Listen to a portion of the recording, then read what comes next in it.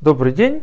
И сегодня мы давайте разберем, как нам сделать э, механизм сессий э, в импрессе и э, в технологическом стеке Метархия, как держать контексты, как сделать эти контексты, собственно, persistent, сохраняемыми в базу данных.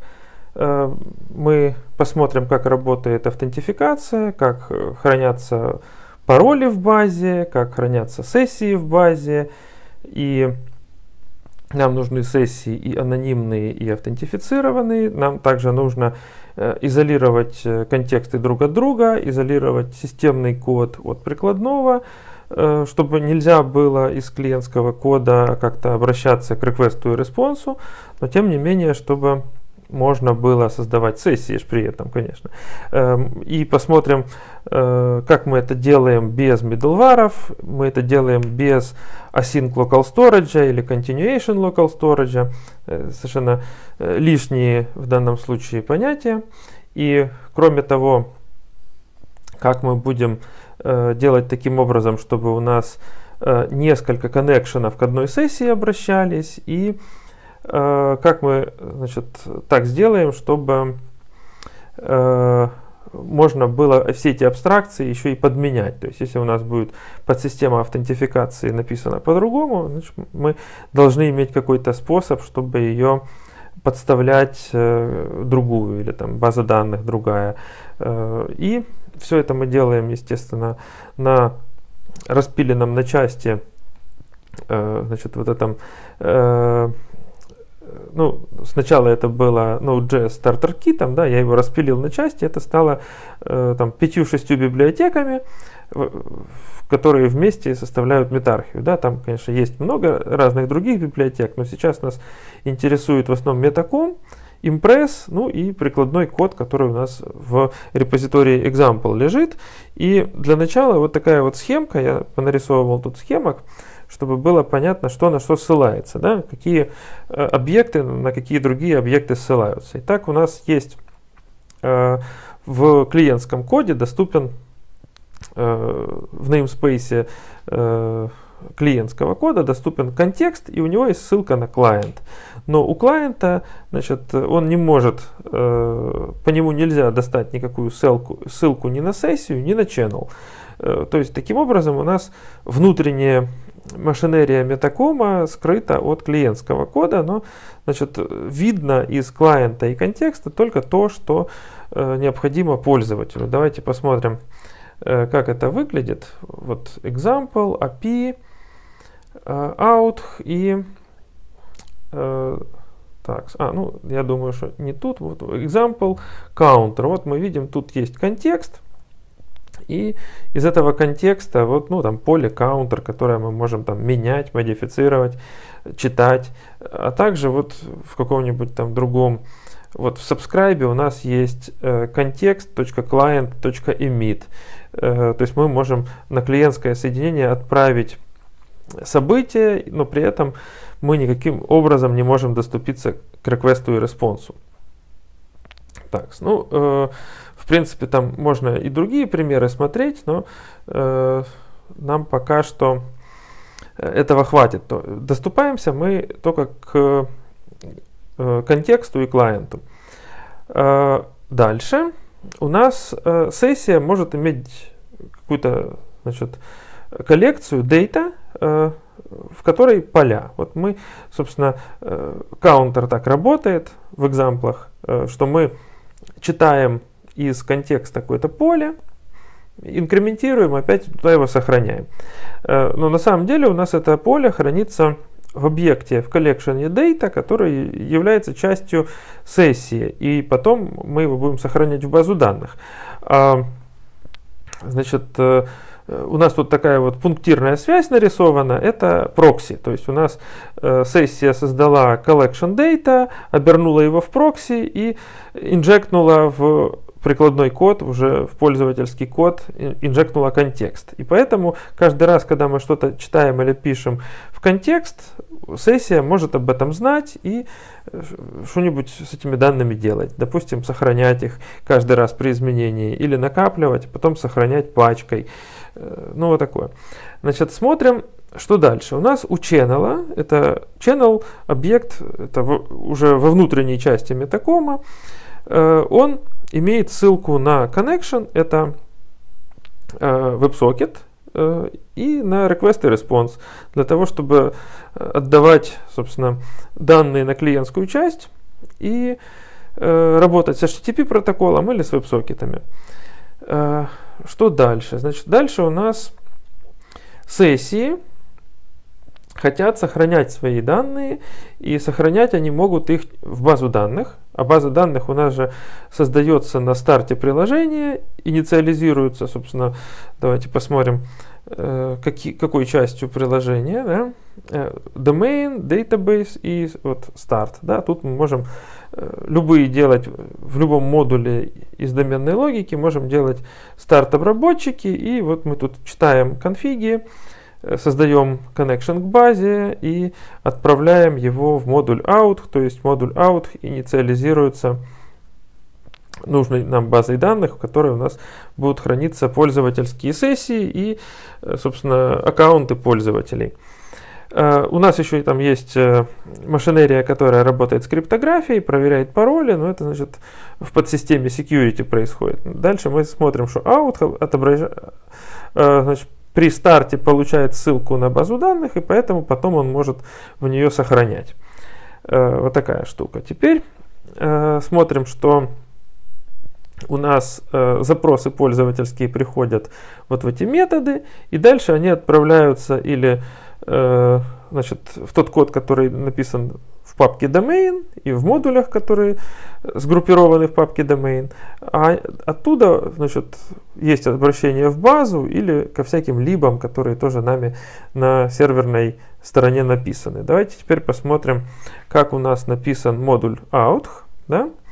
Он абсолютно простой и находится он в импрессе. Так, lib out. Да? И тут у нас э, есть собственно, ссылка на базу данных, вот она инициализируется, то, что мы только что видели, как мы из прикладного э, кода это дело вызываем. Ну и тут есть всякие методы для того, чтобы генерировать токены, сохранять сессии, восстанавливать сессии, проверять пользователей. Эм, ну, маленький такой модуль, который отделяет от протокола и от бизнес-логики работу э, с собственно, базой данных. Да? Вот это у нас есть такая абстракция, которая превращает доступ к базе данных, она превращает в API. Да? А дальше у нас как бы тоже под ней, тоже не напрямую мы в базу ходим. Да? У нас есть еще Query Builder, э, который называется в данном случае MetaSQL, и вот он имеет такой синтаксис, там можно писать э, селекты, инсерты, апдейты, делиты, и, собственно, он позволяет э, более удобно генерировать э, э, SQL. Да? Он очень приближен к SQL синтаксису, но все-таки значит, он не так, как другие query билдеры, он очень компактный, он не многословный. Так, ну, структура базы. Посмотрим, если вдруг кто-то на этой неделе лазил и восстанавливал структуру базы, у него, скорее всего, не поднялось, потому что структура базы э, была немножечко отличалась от кода. Да? У меня-то она была совпадала с кодом, но я забыл коммитнуть последнюю структуру, сейчас я это уже сделал. Значит, э, мы предполагаем, что у нас есть таблица System Station и System User. Ну, там еще несколько есть таблиц, они нам сейчас не важны. Э, и, значит, в таблице System Station мы точно знаем, что должно быть поле Data э, и поле Token для того, чтобы находить там сессии. Ну и тут, видите, есть еще возможность пробрасывать туда при сохранении сессии какие-нибудь поля пользовательские. То есть вы можете модифицировать эту базу и пробрасывать в это API все поля, которые тут не предусмотрены, их можно через fields пробрасывать, да, там IP-шник хотите сохранять там или еще что-нибудь там такое от пользователя. время там, значит, создания сессии там, или что-нибудь вы хотите сюда добавлять.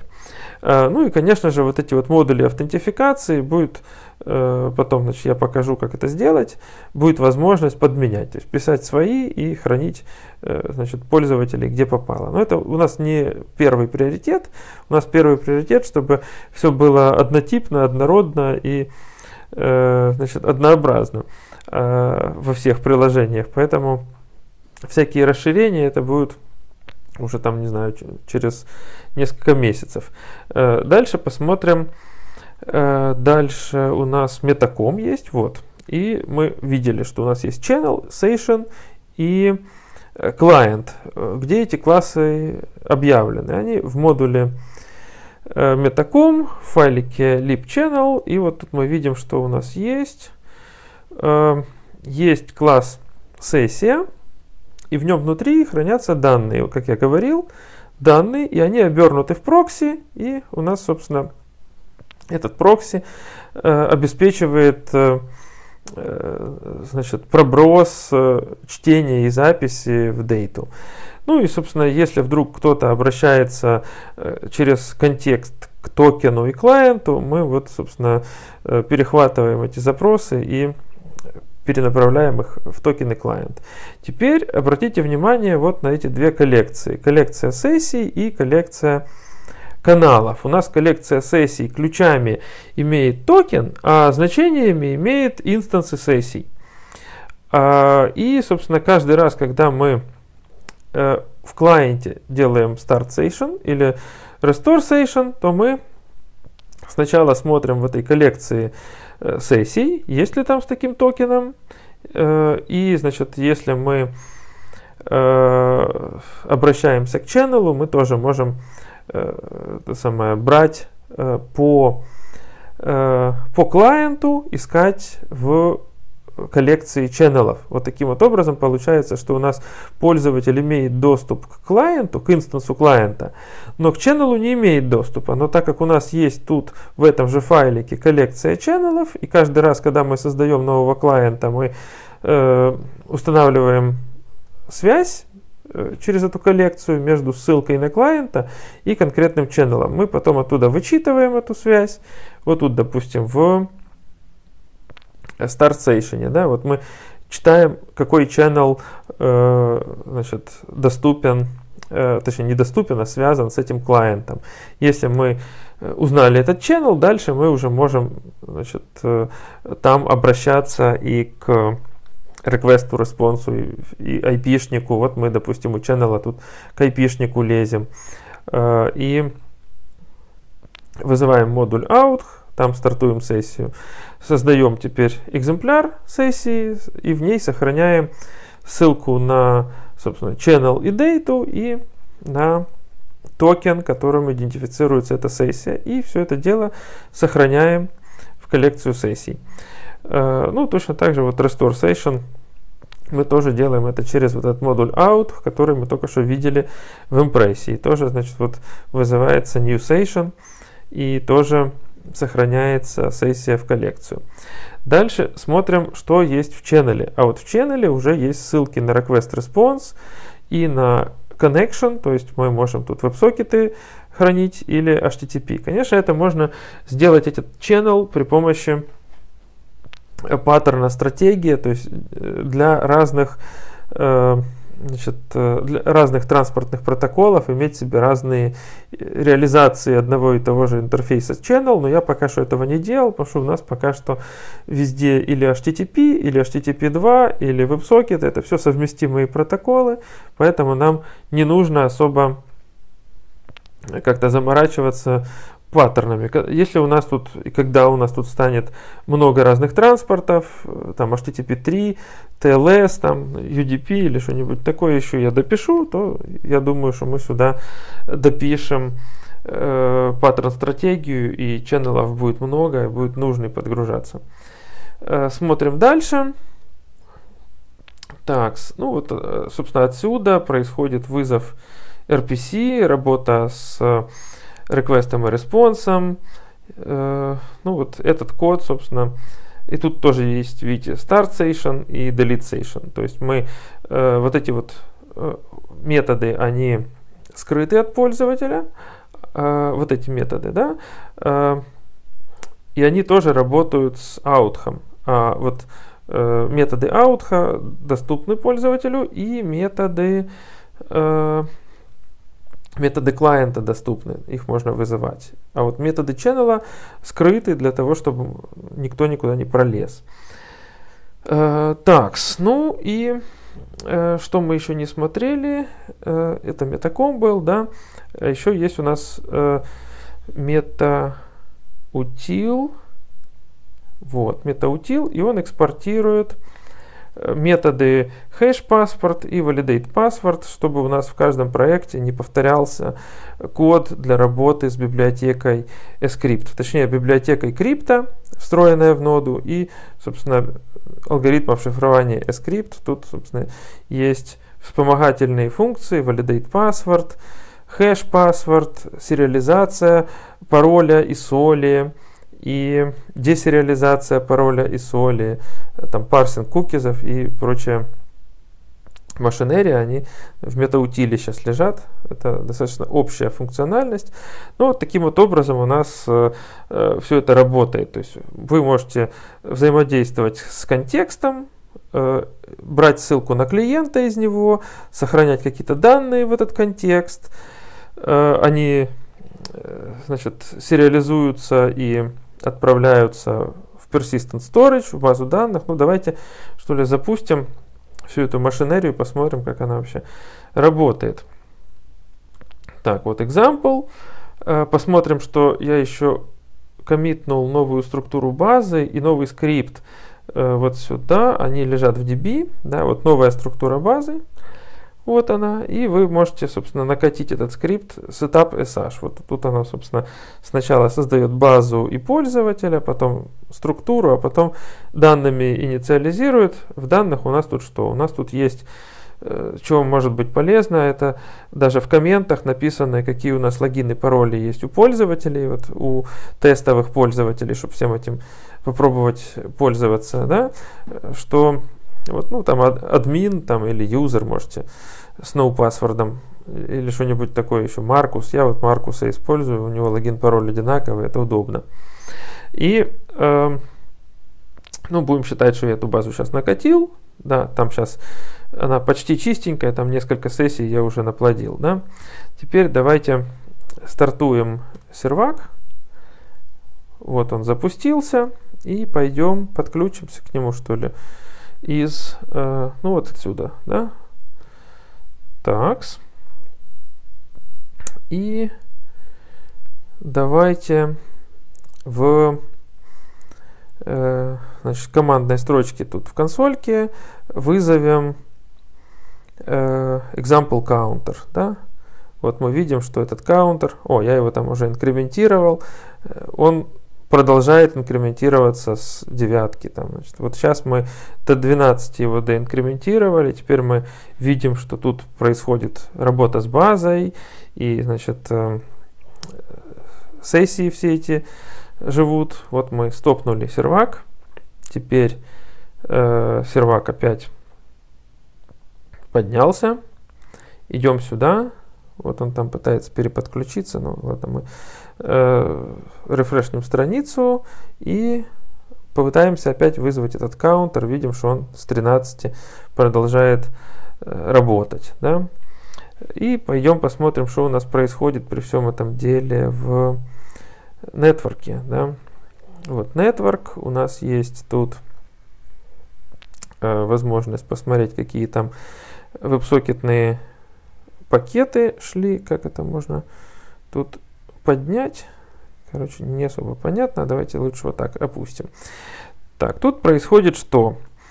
Э, значит, вызывается метод out, точнее, э, вызывается вот out.restore восстанавливается сессия, вот у нее там идентификатор JEZ там и так далее. Да, мы можем посмотреть сейчас, где он хранится.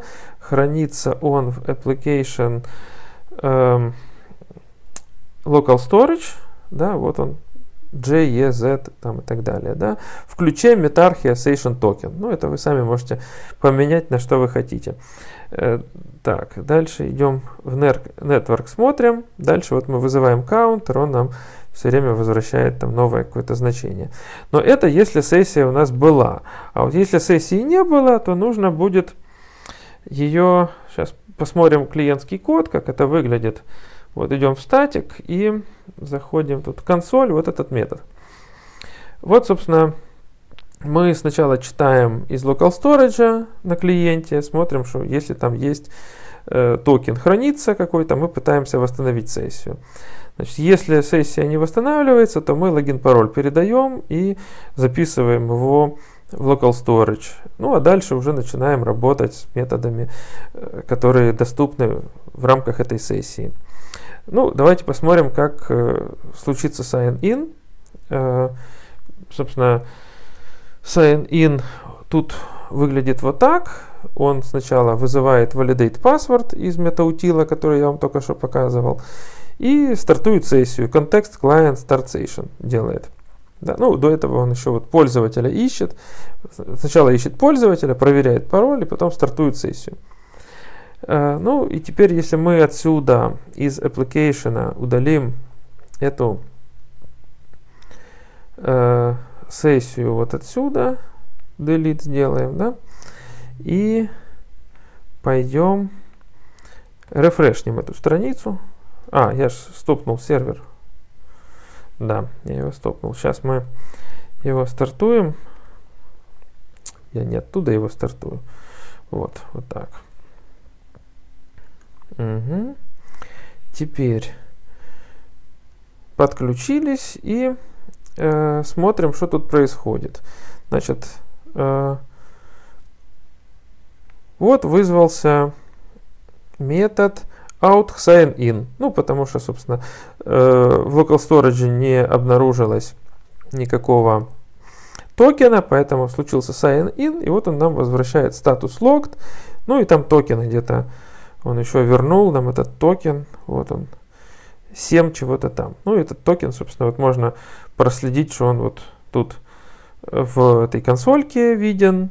И это я просто сейчас так сделал для отладки, чтобы он был виден. Конечно, токены в логе писать не особо правильно. Вы так не делаете. Ну и вот как бы так вот это все работает. Э, так что можете пробовать уже с аутентификацией. Я думаю, что теперь более-менее картина понятна, как у нас э, клиент экранирован от request а и response а, э, как у нас сохраняются данные, как это все отправляется в базу.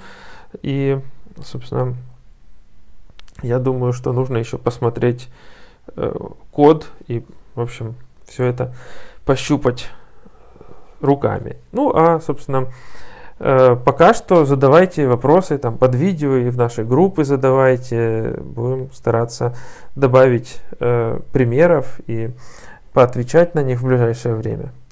Ну все, тогда давайте пока. Удачи.